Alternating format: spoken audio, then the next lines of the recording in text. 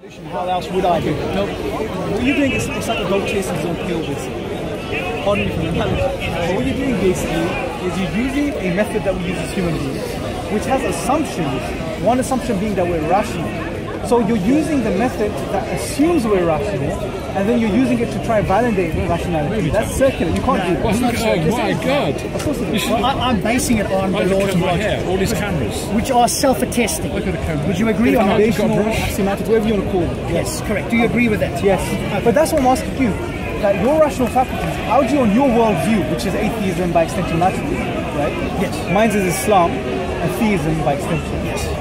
How do you, in your worldview, account for rationality in the first place, right? Before we use delve into a method which requires an axiom, which is rationality, right? On your worldview, on atheism, on naturalism, which is the idea everything is a result of natural causes. Correct me if I'm wrong. Everything that in existence is physical. It's a result of physical processes. There is no mind or intelligence or awareness behind all I'm, of this. I'm not. I'm not absolutely saying that there could be, but I just don't see any justification for Okay, that no, but I want to know what your position is because I don't want to be talking to it in general. It doesn't make sense us having So in general, my position is naturalism. Okay, which is, and correct me if I'm wrong again, which is everything is a result of physical processes. There is no mind, there is no awareness, there is no You mean external mind to our own? Well, okay, let me put it this way. Let me let me try using my words correctly. There is no, there is nothing except physical processes, which over millions of years or billions of years have resulted in everything we see around us in the physical world. That's a, Yeah. Okay. Fair. Is that fair? Yeah. That's okay. that's fine. And according to this foundation, this worldview, and what it assumes, that being the case, what I've just discussed, then how do you account for ordered rational faculties which lead to truth? Something doesn't add up there for me because what you're saying essentially is you have blind, random physical processes taking place without any intention or intentionality or thinking or life behind them, and somehow they resulted in rational, ordered thought, Yeah. which makes sense of the world around us. Yeah. How do you make that jump? That's what I'm interested in. When you make, when you say how to make the jump, and I said to you the evolutionary process, Yes. from non from lower this- thinking Yeah. to better thinking. What was your name by the way? Rob. Rob. Yours? Uh, Imran. Sorry. Imran, right. We'll discuss the evolutionary explanation. I don't mind entertaining it. Okay, but you keep asking me the No, no, foundation. no, no, no, sure, you understand the crucial point I'm making. I'll, I'll engage you on that level because I've studied that on an academic level, the evolutionary explanation for human rationality and consciousness. We'll discuss that. But there's a more fundamental point, and that's this. That before we give a scientific have so many explanation, it makes no right, sense in giving one because the foundations and axioms of science, one being that we need to accept that we're rational and we have truth-bearing rational faculties. So if that's an assumption of science and you need that to do science, in what sense is it circular, in a circular way, then using science to justify and validate that? The discussion firstly is at a more foundational level, which is worldviews.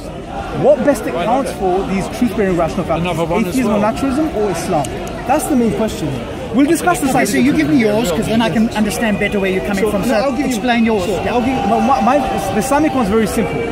We and the beautiful thing about the Islamic explanation is we can give you the how and the why. Go ahead. Because according to the Islamic perspective, God is the creator, He's all powerful, and He created our rational minds. It's easy for Him. For example, in the Quran, He says, Be and it is. Kun fayakun. Yes. Right? Be and it is. It's that simple. God creates. So He created our rational minds. Number two, the why.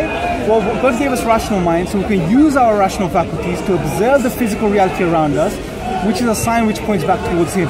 So when we observe the physical world and we see the amazing nature of the world around us, from something as simple as a DNA molecule to something as complex as the laws that govern this universe, these are all signs that point back towards the Creator. And in turn, we worship Him, we turn back to Him, we say, we understand that that's God and this is us, right? That's the Islamic understanding, the how and the why. It's a very comprehensive answer. But on the other hand, on naturalism, you don't have an answer. You have, if And anything, even if I didn't, let's say, so what? Does that mean that you can then insert yours to say that's the only option? okay, what you said is very interesting. Even if I didn't, so what? Well, there's When I say sorry, Yes. when I say it didn't, we don't yet know. Let's let's assume let's assume that we don't yet know the answer. I don't, see, let's not have a discussion based on the loose assumptions. I'm discussing you as your position, right? So, what is your position right now? Do you, from your worldview, understand this reality, or don't you? That's the question. As far as I can Because right understand, you just I said- understand this Because reality. right now you said, even if my worldview, naturalism, can't account for human rationality or truth-bearing faculties, so what? Well, there's huge implications. One being, you having a discussion with me right now is pointless because you can't account for your, you, you don't know, right? From your point of view, you don't know, right? On the other hand, it makes my case because what I'm trying to do here is give you da'wah, which is an invitation to the Islamic worldview, is to ask you to come and observe this reality because it has a very comprehensive way of understanding reality, including rationality. So that's that. So there are some implications there, right? Yes. So now, if you want to carry on this discussion, now I'm not saying you're not rational. On my worldview, I can account for your rationality for you, even, right? But I don't want to do that. Good. I want to know your worldview. How, according to naturalism or atheism, you account for human rational faculties, truth-bearing faculties. Before we indulge in the scientific explanations, which we'll discuss anyway, I'll grant you that in a bit. But for now, I So why is uh, the evolutionary process unsatisfactory to you? no, it's not. Well, well, it is to me, but I'll explain that to you. Like I said, we will discuss that. But firstly, we have to discuss it from a foundational level, which is on your worldview, which is naturalism, atheism. How do you account for these rational faculties? How do you account for this very thing, which is an axiom of the scientific method itself? Which I've said to you, I account for that through um, evolution, and you are saying that's not good enough. I don't think My I'm making a point. worldview, no, maybe you're not, or maybe you're not accepting I'm- that I'm as my Well, you agreed to it, so I thought you understood it, but you obviously haven't. What I'm saying is very simple. We could discuss the scientific explanation, but science is a method as human beings use, right? We agree. Science is a method we use as human beings, and that method has some axioms, some assumptions Yes. before you do it. They're called properly yes, based. Yes. One of the assumptions is I wouldn't go into that terminology, but we can discuss it later. One of the assumptions is that we are rational. We have truth-bearing rational faculties. You've said. If you don't accept this assumption, you can't do science. It doesn't make you stupid. I agree. Okay? I yes. accept that assumption. So, yes. then what I'm saying is this. Then it makes no sense for you to give me a scientific explanation to account for its own assumption. That's like a dog chasing his own tail. You're accepting something to do science, but then when you start doing science, you're saying, hold on a minute, I'm not accepting the very thing I accepted to do science, but now I'm going to use an explanation within science to explain that reality. It's, it's, it's, it's It seems like it from your point of view. I don't see it that way. Well, it is. That's what you're doing essentially. I don't see it that way. I assume my existence and I assume the laws of logic at a, at a basic No, no, but we're talking about human rational faculties, truth-bearing faculties. Which are based on what? Do you accept that we're rational as human beings? Yes. We have to, we, we, do you accept that we have the ability to distinguish between truth and falsehood as human beings? Yes. We eventually get to that if we use our with faculties. scientific method, Yeah. Well, that's one method, but there's a process we use to get to that. Now, that's what I'm talking about. The laws of logic, uh, there may be an aspect of it, but then there's the whole thing one. But I'm speaking about a whole comprehensive reality. I'm saying to the laws of logic are foundational. But, no, but now you're changing this discussion. We're discussing rational faculties. Our faculties which lead us to truth, which And I'm saying to you that came about through the evolutionary process. Okay, but for the sixth time, I understand that. That's an explanation a scientific scientist That's my that's how my that's my answer to your foundation Okay. of how do I account for the rationality? No, no. You, okay, let me try explaining it again. It's very simple. I'm sure most of us understand it. What I'm saying is this: as human beings, one of the things, assumptions or axioms of science is that we are rational and we have truth-bearing faculties. Yes or no? Yes, we've agreed to this. Now, what I'm saying is this: you're assuming this before you engage in science. Yes. Okay. Now, giving a scientific explanation, therefore, for this reality, it doesn't make sense because you're assuming you're already to be true before you give me a scientific explanation, right? So that's what I'm saying. The discussion's on a more foundational level. Look, let's look at it from worldviews first, and then we'll discuss the scientific explanations, right? That's what I'm saying. It's very simple. So, and, and you seem to admit, you said vaguely that even if I can't account for it, so what? But there's huge implications to even our discussion right now. It makes no sense you are standing here having a discussion. Trying to smuggle in the presuppositional thing. And I no, don't, no, no, no. I don't on accept a your premise. One second, one second. That's completely false. It will be a presuppositional argument if I was saying you cannot claim rationality unless you justify it. I'm not saying that. I'm starting off with the premise that it is foundational. We accept it, both of us do. But I'm saying what worldview accounts for it. There's a difference. So let's not straw man my position. That's what you're trying to do now.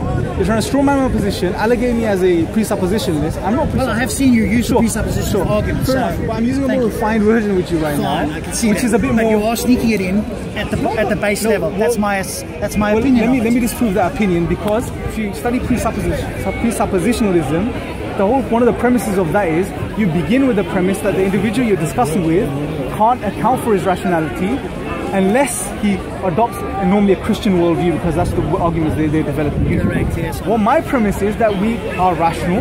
We have rational faculties, truth-bearing faculties.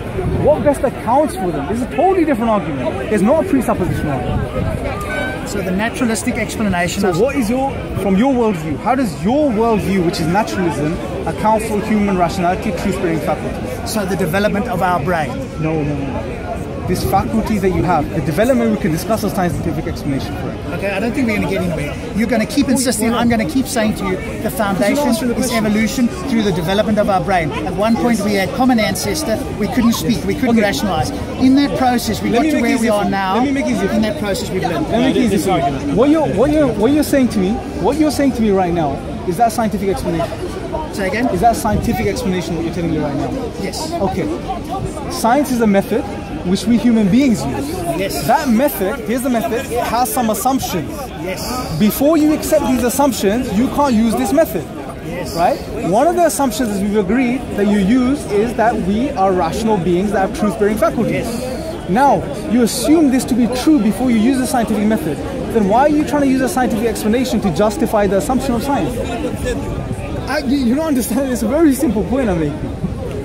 Because, right? Your argument sort of. Your, your Uh, argument I'm just, your let me just finish argument it. is 'cause scientific, it's gonna- Therefore, God exists. I'll, I'll have it, I'll talk to you in a second, but let's because it gets messy otherwise. No, this So do you see the point I'm making? I assume certain things in this world in order for us to exist. Okay, there now- are basic assumptions Yes. which I've given you. Yeah, and From that, we can build. Okay, now my question is simple. Your worldview, what explanation, or how do you account for this assumption that you have, which is human rationality? You can keep asking the question in 15 different ways. I'm going to keep giving you the same answer. Because the reality is you don't have an answer. I've given you my answer. don't. You admitted it earlier, you don't have an answer. You said, so what if I don't have an answer? I said, let's suppose that we didn't. But I'm not saying Well, that. if we've support, no, but that's what you're not, you're not giving me an answer after understanding what I'm saying. Well, it shows me that you don't have an answer. That's what it shows Okay, me. Okay, if you want to assume that, it's I'm- fine. well, I'm I've assuming asked that- you about three I'm- times. I'm assuming Have that- you not heard it? No, you have, haven't. have you been standing here the whole time? I've heard. It's, it's been recorded in your camera. I'm sure your users will see this. It's been recorded here. I've told you ten times probably why what you're doing is almost like a dog chasing his own tail, right? Because you're using an assumption of science which you accept to be true to do science, Yes. and then you're using a scientific explanation to justify that very assumption. It's circular. It's ridiculously circular. If you think so. But so, that being the case, on your worldview, Correct. on your worldview, atheism and naturalism, how do you account for human rationality? And, and I'll keep asking you that question because I'll keep, atheists, I'll keep responding Well, you same. From a naturalistic point of view, and the moment I speak to you, you are claiming I'm using science. Well, no, you, you yourself. Open my you- mouth, I'm using you science in yourself- your You view. yourself have told me that what you're saying. You're asking for an explanation, Well, obviously, you don't have an explanation. and I'm giving you one, and you are claiming that it's a scientific Well, you, well, explanation. yes, and you admit that. Yes. That's yeah, exactly. So, what's the you, you, you? If you admit what I'm saying is the case, then why are you? So I'm, I'm, so I'm using a scientific, and you, you are, you are presupposing that God exists and did it for you. Let's let's let's let's move on to the scientific Yes. point now, because we're not getting anywhere. You don't. You obviously don't have an explanation from from from a worldview. It's not acceptable to you. You've given me yours, which you presupposed. everyone everyone can see the point I was making. You obviously didn't understand that point, but that being the case, obviously now I'm going to assume this because you haven't given me an answer. According to your worldview, you don't have an answer to human rationality, truth-bearing faculties. Anyway, let's address your scientific contention. So you're saying that we develop rational faculties according to what science tells us today, so we can reason better and survive. Is that what you're saying? Okay. Well, that's that understanding is not held even by atheist scientists that study the study human cognition and rationality. There's several problems. You can study Thomas Nagel, who's an open atheist. He's written a book called Mind and Cosmos. There's another interesting book written by. Uh, All right, so what? Let, let me ask I'm you the going to give you the question. answer. I'm, I'm going to tell you why, why what you've assumed is incorrect, according to scientists, atheist scientists as well. Uh, there's another book pu- published by Oxford Press called Beyond Evolution, right? Anthony O'Hear's Oxford Press published publication. And what he basically says, in not too many words, is that human rationality, truth-bearing faculties are not necessary for survival. Many examples you can give, which this shows that this is the case, and if this is the case, then there's no need to, or there's no reason for truth-bearing faculties to develop. I'll give you a simple analogy, just to put things into Yeah, perspective. I'm not necessarily. I don't Well, necessarily. Anthony, Anthony O'Hear gives the analogy. You can tell me why you disagree. You may find an individual who avoids eating all mushrooms, mushrooms, the, food itself, right? Or fungi, how you, whatever the correct word is you use. He avoids all mushrooms and he survives, and he's fine, right? But we know that's a false belief, it's a false understanding because there's some mushrooms which are completely edible, and if you eat those uh, mushrooms, you survive, right? So it's a simple example of where a false or misunderstanding of a belief or a false belief results in survival.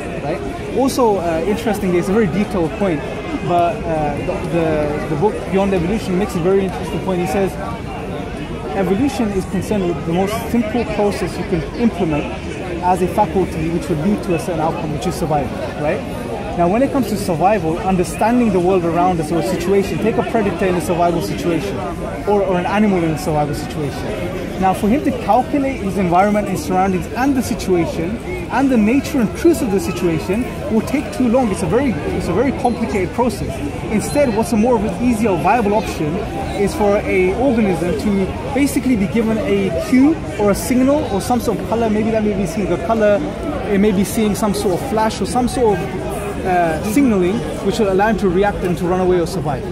So that clearly demonstrates that truth-bearing faculties are not necessary from a survival perspective. False beliefs are completely adequate in resulting in survival. According to the science. Sometimes, not all the time, isn't it? of course, but this is the point. If sometimes false beliefs can result in survival, sometimes true beliefs can, then there's no need for a faculty which is truth-bearing, which is purely concerned with truth, to develop from an evolutionary perspective. Because that's not concerned with truth; it's concerned with survival. It's two different things. Yeah, but over time, what we call evolution, so then let's say the last thousand years, not the last million, let's say, we've come to understand truth, correct? Or a method to uh, ascertain truth. Having a method is one thing. Having knowing that we have the ability to do so is another thing. That's why I was asking you from a foundational perspective earlier. You can't conflate these points with what we're talking about right now, right? Because now we're going to talk about very uh, wishy-washy type of uh, assumptions which scientists can make, or based on what they've studied, we can make, right? This is not the truth. From what we see, false and true beliefs can both result in adequate survival. If this is the case, there's no need for truth-bearing faculties to develop. There's no explanation for them from an evolutionary perspective. I, I don't necessarily agree. I need to do more research, but, but just off the top of my head, have, that have doesn't a read, have a read of the book by. Anthony O'Hear. Anthony Anthony. O'Hear, Beyond Evolution, published by Oxford Press. Very interesting read. Also by Thomas Nagel, Mind and Cosmos. And he covered in this. Uh, Thomas Nagel himself is an atheist, so he's not a theist or believer. So what is their what is their um, view on it then? well, like I've just suggested. Do they suggest that it came from a religious point Well, no. view? Thomas Nagel, for example, he argues that a purely naturalistic evolutionary account for human rationality and consciousness is not good enough. He says we're gonna, as atheist scientists, we have to come up with something better. Otherwise, we're gonna run into huge problems as we're seeing today. We're running into huge problems from a naturalistic perspective. But from a theistic Islamic perspective, like I gave you, the answers in a nutshell within two sentences. Because I can give you the answers. So purely based on this, Roger, you said right? Rob. Rob. Purely based on this, I will encourage you and ask you to look into the Islamic tradition. I've looked because into it's it, a very I'm still looking interesting- into it, Yeah. and I is don't very find it interesting convincing answer. in Sure. any way so far. Well, no I'll give you one aspect you can look into as well, because many detailed uh, analogies and examples specifically relating to human rationality and cognition that's given in the Quran. It'd be very interesting for you to study. Yes, so you're presupposing that the only way that we can have this is through a divine creator. No, not necessarily. What I'm saying is that it best accounts for it. The Islamic explanation best account. It gives you the how and the why.